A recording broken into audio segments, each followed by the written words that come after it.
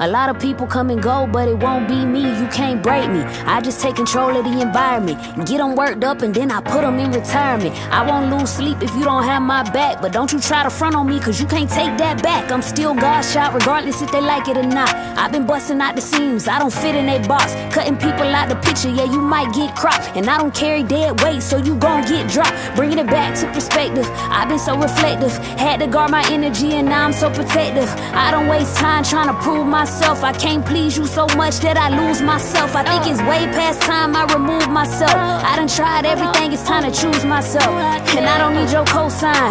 God did it when He threw another lifeline. Yeah, you know it's my time.